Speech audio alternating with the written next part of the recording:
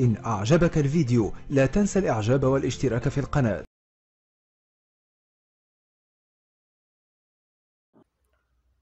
الإخوان اليوم بغيت نتكلم على على واحد الموضوع مهم بحسب منظوري الشخصي خصوصا في الزمن ديالنا وفي في ظل انتشار التفاهة وانتشار اللامبالاة وانتشار العقول الفارغة.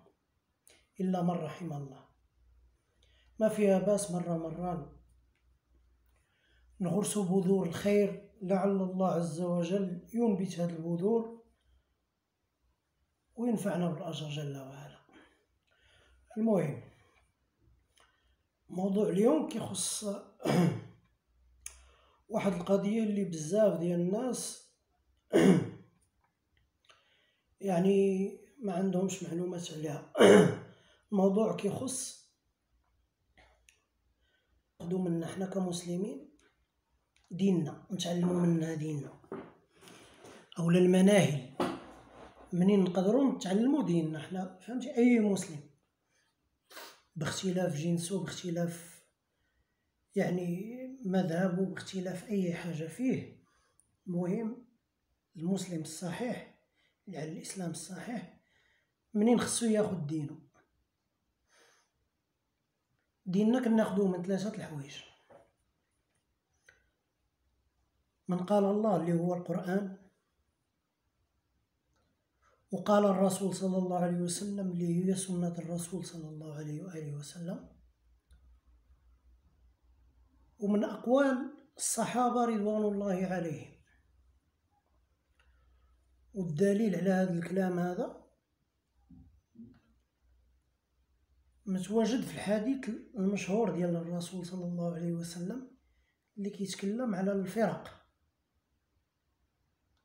كيقول في عليه أفضل الصلاة وأزكى السلام وستفترق أمتي على ثلاث وسبعون فرقة كلها في النار لا تنجو منهم إلا واحدة.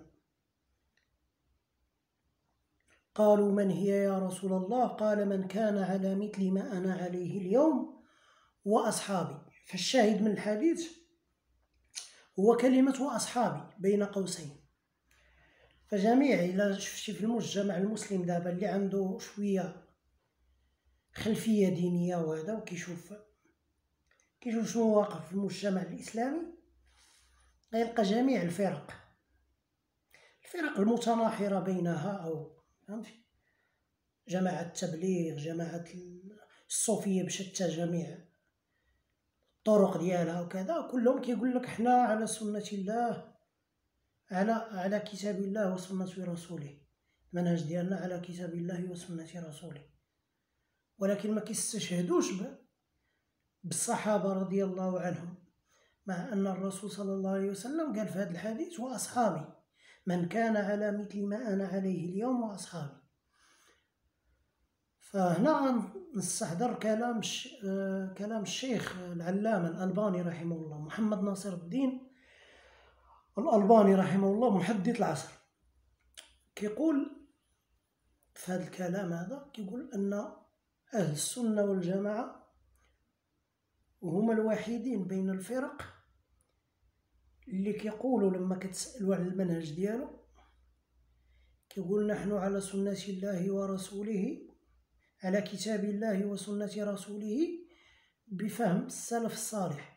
والسلف الصالح هم السلف الصالح كيبتدأ من من الصحابة رضي الله عنهم ثم التابعين ثم أخيار هذه الأمة. لأن الصحابة رضي الله عنهم علاش علاش ناخذوا ناخذوا من عندهم الدين؟ لأنه نزل نزل فيهم نزل فيهم القرآن الكريم. يعني القرآن نزل على الرسول صلى الله عليه وسلم بينما هو عايش معهم عايش مع الصحابة. ففهموه وعقلوه. كانت عندهم يعني يقدروا يستوعبوا كلام الله يعني الوحي. فلهذا إحنا ضروري أننا نتبع يعني نفهموا الكتاب والسنة بداك الشيء اللي فهموه هما. لأن ديننا ما كيتخادش بالعقل. راه غلط اللي كيقول الدين كيتخاد بالعقل. لأن كيف ما قال علي رضي الله عنه. لو كان الدين بالعقل لو كان الدين بالعقل لكان المسح من أسفل القدم في المسح على الخفين. لو كان الدين بالعقل لكان الأولى مسح مسح القدم من من الباطن من التحت يعني ما يكونش من الفوق. مع أن في السنة ديال الرسول صلى الله عليه وسلم المسح كيكون من فوق الرجلين. إلا كنتي لابس تقاشر ولا خفين ولا هذا وكنتي ديجا لابسهم لابس تقاشر على على وضوء يجوز لك أنك تمسح. تمسح عليهم بعد إتمام الوضوء يبقاو غير الرجلين كتمسح مسحة. هذه ثابتة عن رسول الله صلى الله عليه وسلم. فالمهم هذا دليل على أن ما الدين ماشي ديما كناخذوه بالعقل. جاب كيتخاد من الوحي.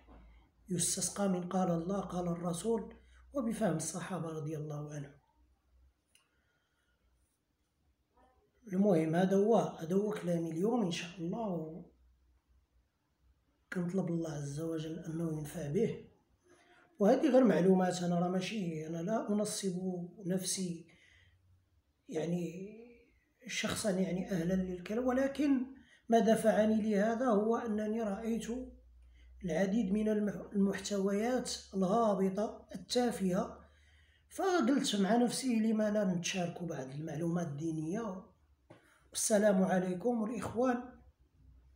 كنتمنى أنكم تستافدوا من, الكلام وكنتمنى أن تكون آذان صاغية. والسلام عليكم وحياكم الله. وما تنسوش تشاركوا في القناة ليصلكم الجديد. وتضغطوا على زر الإعجاب. وحياكم الله وبياكم.